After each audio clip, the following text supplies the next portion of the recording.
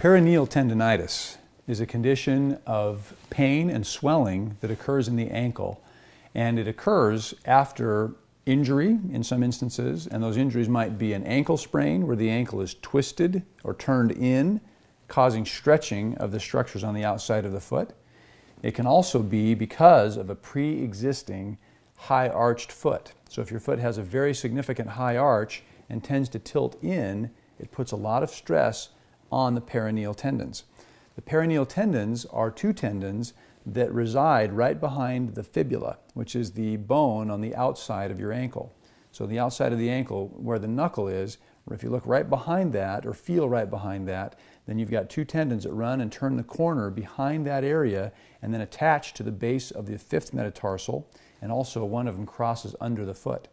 Those tendons stabilize the ankle and prevent it from twisting in and maintain a neutral position for your foot. They work against the tendons on the other side of your foot to give you balance.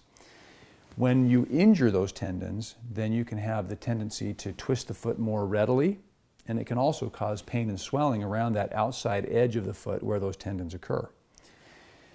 If you have peroneal tendonitis, this can be treated initially at home for a short period of time uh, when you suspect it with the use of an ankle brace, like a sports lace up brace, and in addition, you can also, if you have ever had a prior injury, if you have a boot or a fracture walker, then you can put it in a fracture boot for anywhere from four to six weeks and often reduce the symptoms from this.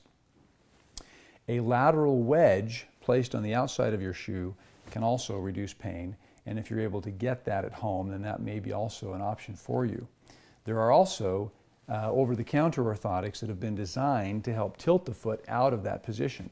And for example, uh, the FootMind uh, Cavo Varus or high arch orthotic is a very effective orthotic in tilting the foot away from the peroneal tendons.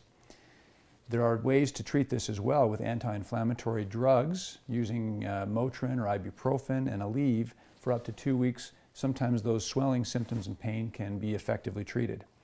In addition to that, use of, uh, of newer anti-inflammatory creams and gels placed along those tendons and in the area where the symptoms are greatest can help to reduce symptoms a little bit as well.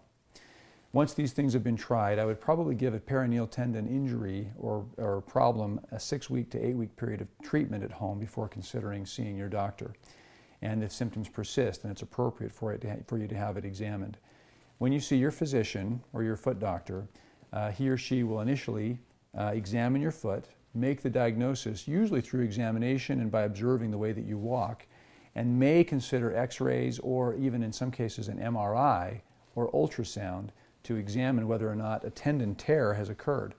A tendon tear in the peroneal tendons is usually a split tear, where along the course of this long tendon, the tendon splits down the middle and then becomes painful because the edges of the tendon start moving against one another and become inflamed and swollen.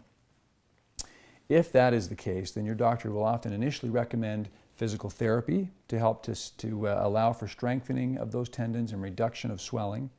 And therapy can be very effective in improving the symptoms. And then, in addition, also immobilizing you in either a cast or a boot is appropriate for up to six weeks. If these have been effectively tried and haven't been effective in resolving symptoms, then the next stage in treatment is usually surgery. Peroneal tendon tears do not tend to heal completely on their own. They become less symptomatic with non operative treatment. But if they remain symptomatic or if they still have pain and swelling, they need to be treated with surgery.